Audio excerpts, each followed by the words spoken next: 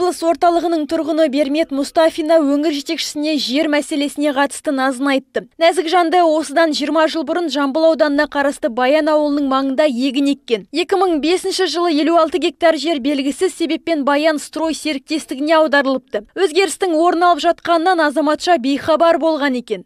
Баян строй деген ешкезде жоқ. Мен таба алмадым. Баян агро бар, Баян строй деген жоқ. Мен екі мың алтыншы жылы акиматқа барып бәрін тексертіп договор расход кеткен договор кететін деп барсам менің жерім жоқ. Еш жерде жоқ.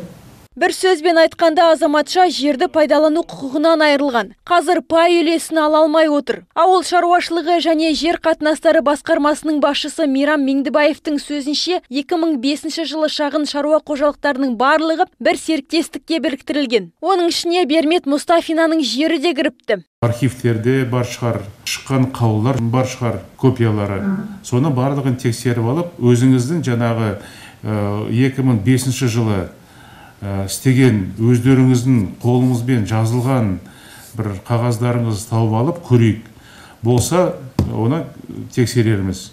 Аймақ басшысы бұл мәселені бір жақты етуді Мирам Меңдібаевқа тапсырды. Құмар Ақсақаловқа Бермет Мұстафинаныкіндей проблемамен Оралбай Сәкенов те жүгінді. Үстіміздегі жылы Петропавлдық аукцион арқылы 700 гектар жер сатып алған екен. Бірақ танапқа ештеңе себе алмапты. Өйткені техникасын дайындап жұмысқа кірісем дегенше бұрынғы иелері аумаққа дән сіңдіріп тастаған. Өңір тұрғыны жарты жыл бойы әділдікке жете алмай жүргенін айтады. Ал Қызылжар аудандағы Босика серіктестігі жауаптан жалтаратын көрінеді. Біз бос ик серіктестігімен мәселені даусыз шешуге тырыстық. Алайда олар өздерінің проблемаларын айтып уақытты барынша созды. Диқаншылар өнімдерін жинап та алды. Естуімше астық петропавл қаласына жеткізілді.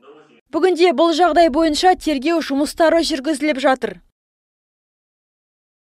Асқар Жоламанұлы Шалақын ауданда 1958 жылы қараша айының екісі туған. Целиноград ауыл шаруашылығы институтын, Алматы саясаттану және басқару институтын, Қазақстан Ресей университетін, агроном ғалым, саясаттанушы, құқықтану бакалавры мамандықтарына оқыған. Еңбек жолын 1981 жылы бұрынғы Булаев ауданында агроном болып бастаған, түрлі ұйымдарда басшылық қызмет атқарды. Салтанатты шарада Құмар Ақсақалов Асқар Жоламанұлының облыстың дамуына қосқан еңбегіне алғыс білдірді еңбек жолы 40 жылды құрап отыр екен.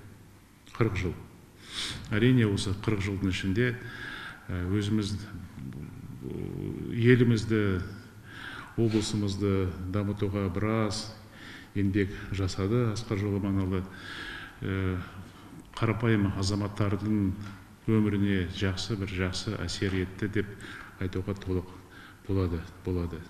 Сондықтан асқар жоламанұлы тағы да құтты болсын. Иә и және де алғысымызды айтқым келеді еңбектеріңізге. Сондай-ақ 2004-2017 жылдары Солтүстік Қазақстан облысының жұмыспен қамтуды үйлестіру және әлеуметтік бағдарламалар басқармасының басшысы. 2017 жылдан бастап бүгінгі күнге дейін Солтүстік Қазақстан облысы әкімінің орынбасары, экономика жұмыспен қамтуды үйлестіру және әлеуметтік бағдарламалар, еңбек инспекциясы, дене шынықтыру және спорт салаларына жетекшілік етті. Шара барысында қызметтес әріптестері зиялы қауым өкілдері Асқар Жоламанұлымен бірге атқарған жұмыстарын еске алып, зейнет жасымен. Ол өз тарапынан біте қайнасып жұмыс істеген әріптестермен облыс басшысына бүгінгі күнге дейін атқарып келген қызметіне қолдау көрсеткендері үшін ризашылығын білдірді. Бүгінгі күні жеткен де бар жетпеген де бар. Мен өз семьямнан өзімнің атымнан үлкен алғыс айтамын сізге құмар әріптестеріме сіздер жанымызда болмасаңдар ондай жұмысқа сондай жетістікке біз ба жете алмас едік асқар сақыпкереев қазақстан республикасының премьер министрінің орынбасары ералы тоғжановтың алғыс хатымен облыс әкімінің құрмет грамотасымен еңбек медалімен еңбек және халықты әлеуметтік қорғау министрінің алғыс хатымен марапатталды.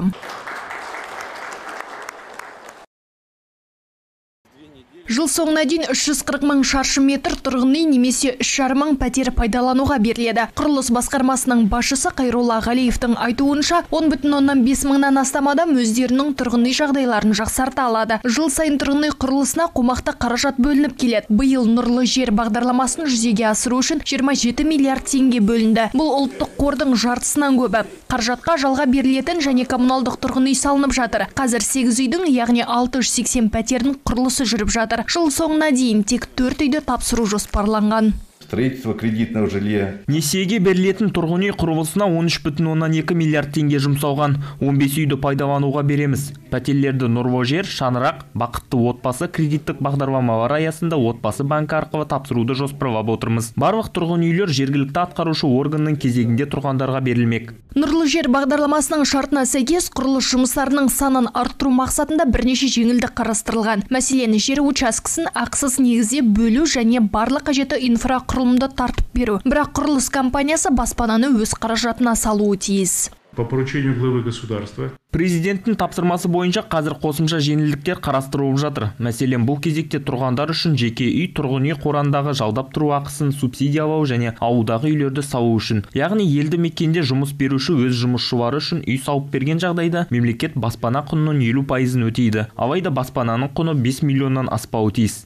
Сумен жылу жаңа салынып жатқан үйлердегі ең басты мәселе. Биыл сумен қамтамасыз ету үшін 11,5 миллиард теңге бөлінді. Оның ішінде нұрлы жер бағдарламасы аясында 5,5 миллиард теңге берілді. 2021 жылы бағдарлама бойынша 46 шақырым құбыр қалпына келтірілді. До конца текущего года Биыл жыл соңына дейін орталықтандырылған су жүйесіне 3,5 мың адам тұратын 10 ауыл қосылады. Оның ішінде нұрлы жер бағдарламасы бойынша 6 ауылға су берілмек. Осылайша халықтың сапалы ауыз суға қолжетімділігі 83 пайызға жетеді. 2022 жылы сумен жабдықтау бойынша 5,6 миллиард теңгеге 16 жоба іске асырылмақ. Соңғы 5 жылда 200 ауыл 19,5 миллиард теңгеге сумен жабдықталды. Бұл дегеніміз 160 мыңнан аса солтүстік қазақстандық таза сапалы ауыз суды пайдаланып келеді. Пресновский групповой водопровод преснов топтық су құбыры іске қосылғалы жамбыл есіл және мамлют аудандарының 18 ауылы сумен қамтамасыз етілді. Бұдан басқа тұрғын үй коммуналдық инфрақұрылымын жақсарту бойынша бекітілген кешенді жоспар аясында жұмыстар жалғасады. Осылайша 2026 жылға дейін 65 мың тұрғыны бар 139 ауылда жөндеу жұмыстары жүргізіледі. Қорта келе облыс әкімінің айтуынша 2026 жылға дейін орталықтандырылған су жүйесіне қосылу көрсеткіші 100 пайызға дейін жетпек. Сейчас у нас в регионе складывается қазір біздің өңір тұрғындарының денсаулығына қауіп төніп отыр. Күн сайын инфекцияның жүздеген жаңа жағдайлар анықталып жатыр. Науқастардың барлығы дерлік вакцина алмаған азаматтар екенін атап өткім келеді. Облыс бойынша 120 мың ересек тұрғын егілмеген. Кейбіреулер әлі күнге дейін вирустың барлығына күмәнмен қарайды. Өкінішке орай мен коронавирус жайлы жақындары қайтыс болғаннан кейін ғана ойын өзгерткен адамдарды жиі кездестіремін. Пандемия басталғаннан бері коронавирус инфекциясынан 304 солтүстік қазақстандық қайтыс болды. Күн сайын вирус жұқтырғандардың және ауруханаларда өмірі мен өлім арасында күресіп жатқандардың саны артып келеді. Біздің облыс бір ай бойы қызыл аймақта тұр. Бұл санитарлық талаптардың сақталмауына және вакцинация қарқынының төмендеуіне байланысты. Эпидемиологиялық тергеу инфекциясының адамдар көп шоғырланған қоғамдық орындарда отбасы мүшелерінен және қоғамдық көліктерде жұғатынын көрсетті. Несмотря на рост заболеваемости населения, жоспар бойынша жыл соңына дейін облыста 370 мың 740 адам вирусқа қарсы вакцина алуы тиіс. Ал қазір бірінші компоненті тек 251 мың 808 адам, екпенің толық курсынан 234 мың 636 адам өтті. Екпе алу қарқыны бойынша Қызылжар ауданы мен Уәлиханов, Тайынша, Мағжан Жұмабаев және Ғабит Мүсірепов аудандары соңғы орында келеді бұдан басқа екпе алудың күнделікті жоспары орындалмай келеді. Уәлиханов ауданында 28 қазанда мүлдем ешкім екпе алмаған. 31 қазанда дәл осындай жағдай айыртау қызылжар және мамлют аудандарында байқалған. Вакцинацияның төмен қарқыны эпидахуалға теріс әсер етеді. Және бұл жаңа шектеулерге әкелуі мүмкін дейді әсет жұматаев. Мониторингтік топтардың да белсенділігі төмендеген. За октябрь проведено 188 рейда. Қазан айында 188 рейд жүргізіліп, 1118 нысан қамтылды. 30 тұлғаға 1,5 миллион теңгенің айыппұлы салынды. Ал аудандарға келетін болсақ, Тимирязев және Валиханов аудандарында рейдтер мүлдем жүргізілген жоқ. Ақжар ауданында 3 рейд барысында 20 нысан тексерілді. Айыртау, Есіл, Мамлют және Шавақын аудандарында рейдтер мүлдем жүргізілмеген, немесе оның тиімділігін көріп отырған жоқпыз мониторингтік топтардың тиімсіз жұмысы науқастардың көбеюіне әкеп соғады. Кей кәсіпорын басшылары вакцинацияланбаған қызметкерлеріне көзді жұма қарап басқаларына қауіп төндіріп отыр. Облыстың көптеген тұрғындары адамдар көп жиналатын жерлерде қашықтықты сақтамайды. Қоғамдық көлікте бетпердесіз жүреді. Егер солтүстік қазақстан облысы алдағы уақытта да қызыл аймақта қала берсе өңірде жаңа бұрынғыдан да қатаң шектеу шаралары қолға алынбақ. Если распространение егер вирустың таралуы тоқтамаса онда біз шектеу шараларын одан әрі қатаңдатуға мәжбүр боламыз. Жоспарлы түрде ауруханаға жатқызуды тоқтатуға тура келеді. Медициналық мекемелерді ковидтік яғни жұқпалы аурулар стационарына ауыстыруымыз қажет болады. Кәсіпорындар карантинге жіберіледі. Сауда нысандары қайтадан өз қызметін тоқтата тұруға мәжбүр болады. Бүгінгі таңда вакцинация коронавирустық инфекцияны тоқтатудың жалғыз жолы болып отыр. Петропавлдағы солнечный екі кентінде баспаналар салынды. Қазір 250 адамдар тұрып жатыр. Бірақ тұрғындардың сөзінше бұл ықшам ауданда жайлы тұрмысқа мүлдем жағдай жасалмаған. Жол жарықтандыру мәселесі шешілмеген. Үйлер суық жылу жүйесі дұрыс істемейді. Жауын суына арналған кәріздер жоқ. Интернет тартылмаған. Біздің шағын ауданда проблема өте көп. Солардың бірі суағарлардың болмауы. Яғни өткен жылы келіп жерді қазып сол күйінде қалдырып кетті. Кейін жергілікті бұқаралық ақпарат құралдары арқылы қалалық әкімдіктегілер бұл жұмыстар толығымен аяқталады деді. Асфальт жоқ. Күн сайын жолға шыққанша аяқ киімдеріміз былғанады. Кешке жұмыстан келе жатқан уақытта жарық болмайды. Үйлеріміз болса суық ұзақ жанатын пештер орнатылғанымен оны әрбір үш сағат сайын толтырып отыру керек. Олай істемесек қабырғаларымыз мұз болып қатып қалады. Бірнеше рет қалалық әкімдікке жүгініп едік. Мәселе шешілмеді. Поэтому на 22 год, мы планируем. Құмар іргебайұлы иә біз мәселемен таныспыз. Суағарлар 2022 жылы толық орнатылады. Жерді қазған себебіміз көктем мезгілінде су басу қаупі туды. Әзірге бұл ықшам ауданға асфальт төсеуге қаражат қарастырылмаған. Сондықтан келесі жылы қиыршық тас төсемекпіз. Көшелерді жарықтандыру мәселесіне келетін болсақ бұл ықшам ауданындағы үш трансформатордың түрлі жабдықтарын ұрлап әкеткен. Енді әзірге іздеу жұмыстары жүргізіліп жатыр. Қызылжар ауданы Бескөл ауылының тұрғындары да үйлерде жылудың жоқтығына шағымданды. Бұл мәселе биылғы жылдың қазан айынан бері тұрғындардың бас ауруына айналған. Қыс жақындап қалды, ал Бескөл ауылының 14 мекен жайы бойынша үйлерде әлі күнге дейін жылу жоқ по 14 адресам. Өткен жылы жақсы, үйіміз жылы болды. Биыл шамамен екі айға жуық жылу күтіп отырмыз. Қазір электр қуаты үшін коммуналдық ақыны екі еселеп төлеп жатырмыз. Өйткені үйді электр жылытқыш қондырғылармен жылытуға мәжбүрміз. Тиісті органдарға бірнеше рет жүгіндік. Барлық қондырғылар жұмыс істеп тұр дейді. Аудан әкімі Жанат Сәдуақасов бұл мәселені бір апта ішінде шешуге уәде етті.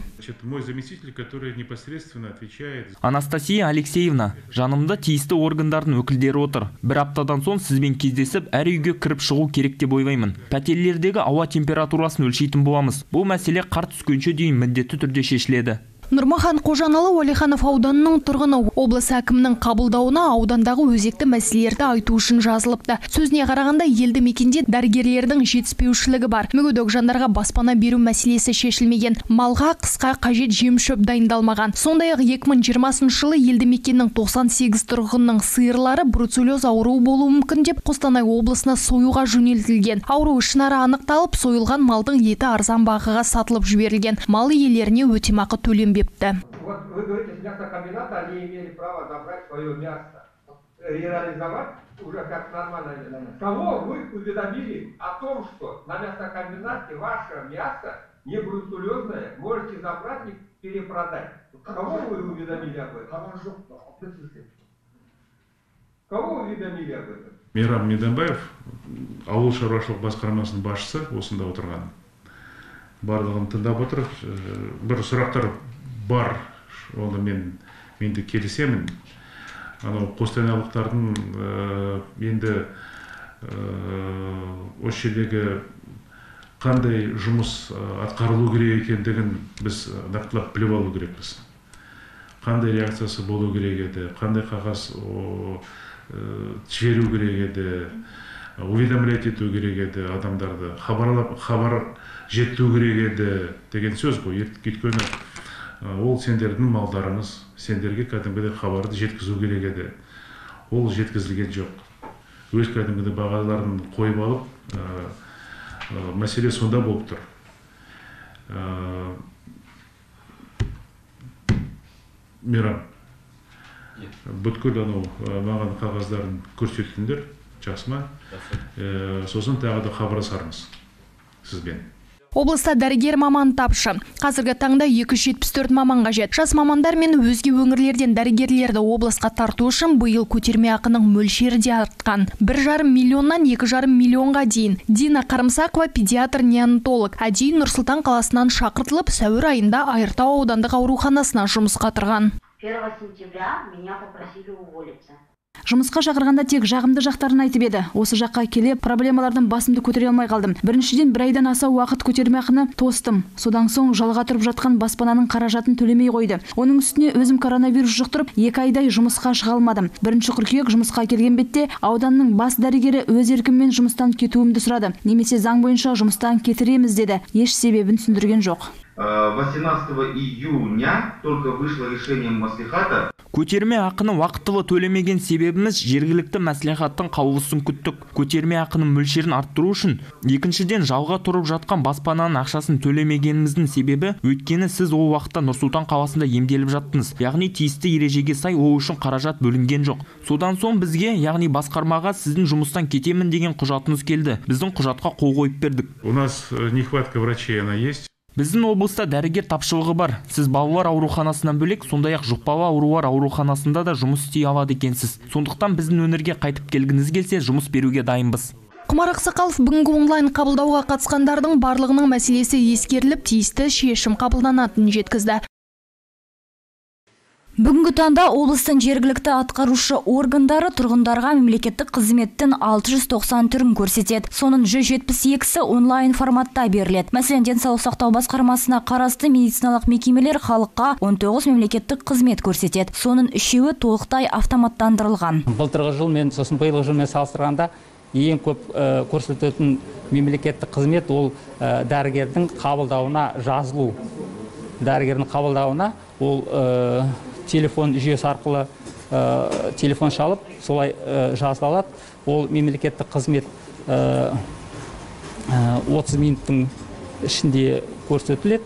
Дәрігердің қабылдауына жазылу ә, 1 миллион 270 мың қызмет көрсетілген. Қазіргі таңда егов мобайл қосымшасында азаматтар 117 мемлекеттік қызмет ала алады. Мұнымен қоса тұрғындар үйден шықпай-ақ электронды үкімет порталынан, телеграм бот секілді әлеуметтік желілерде және мемлекеттік органдардың ғимараттарында орналасқан өзіне өзі қызмет көрсету бұрыштарына жүгіне алады. Бүгінгі күні мұндай бұрыштардың облыс аумағындағы саны 835-ке дейін жетіп отыр. Ол арқылы 101 198 қызмет берілді. Отличительная черта данной ярмарки мемлекеттік қызмет көрсету сапасын арттыру мақсатында департамент мемлекеттік қызмет көрсетудің онлайн жәрмеңкесін өткізіп жатыр. Қазіргі таңда облыс тұрғындары арасында денсаулық сақтау қорғаныс көші қон сынды салаларда мемлекеттік қызметтер үлкен сұранысқа ие. Сол себепті осы іс шараға аталған атқарушы орган өкілдері қатысып жатыр. Біз әлеуметтік желілер арқылы тікелей эфирге шығамыз. Азаматтар өздерін толғандырған сұрақтарын қоя алады. Мұнымен қоса тұрғындар мемлекеттік қызметтерді аудандық әкімдіктерде орналасқан фронт кеңселерде. Агрокөмек сервис орталығында ала алады. Бірер айдан кейін жанармайдың бағасы тағы өсті. Очень дорого очень. Иә баға өсіп жатыр қайда жеткізерімізді білмеймін. Жаңа ғана 20 литр жанармайға 4 мың теңге төледім. Конечно влияет. Менің жалақым жанармайдың бағасындай тез өспейді ғой ал машинаны күн сайын толтырып отыру қажет. Полный бак это примерно. Баға қымбат қалтаға әсер етіп жатыр. Қалай дегенмен осы бағаға да үйреніп кетерміз кім біледі. Қазіргі уақытта өңірде АИ 92 маркалы бензинге баға 175 теңгеден бірден 186 теңгеге дейін өскен. Оған жанар жағармайдың көтерме сатушы фирмаларында сатып алу бағасының артуы себеп болған. Так произошло, потому что цены подняли. Сондай-ақ мұнай өнімінің өзіндік құны, көлік шығындары мен салықтарды қамтитынын атап өткен жөн. Бүгінгі күні облыста жоғары сұранысқа ие АИ 92 маркалы бензиннің 3,8 мың тонна қоры бар. Бұл біздің өңір үшін яғни ішкі нарықты қамтамасыз етуге жеткілікті. Тапшылық жоқ. Қазіргі уақытта облыста 106 автожанармай құю станциясы жұмыс істейді. Петропавл қаласында 38 алдағы уақытта жанармайдың бағасы арзандауы мүмкін бе? Ол жағы белгісіз. Өңірде жылыту маусымы қыркүйек айында басталды. Айталық жеке тұрғын үйді жылытуға қыста шамамен 5 тонна көмір керек. Қыстың қамын жазда жасамағандар қазір көмір іздеп әуреге түскен. Әлеуметтік желілерде көмір жоқ деген жазба екі күннің бірінде жарияланып келеді. Мамандардың айтуынша көмірдің өңірге кешігіп жеткізілуіне қазақстан темір жолы акционерлік қоғамдастығы вагондарының істен шығуы сеп болған. Бірақ қазір мәселе реттеліп қара отын тасымалданып жатыр. Айталық күні кеше облысқа 14 вагон майкөбе көмірі жеткізілген. Сонымен сонымен қатар петропавл станцияларына 14 вагон қара жыра көмірі бар. Оның бесеуі тұйықтарда сатылып жатыр. Қатты алтынның бағасы сапасына қарай 8700-ден 17 мың теңгеге дейін жетеді. Жалпы жылыту маусымы басталғалы өңірге 365 мың тонна көмір жеткізілген. В продаже шубаркульский уголь. Шубаркөл көмірі екі апта сатылымда. Дүйсенбі күні тағы 10 вагон жеткізіледі. Көмір әкелініп жатыр. Тұрғындарды қатты отынмен қамтамасыз етеміз.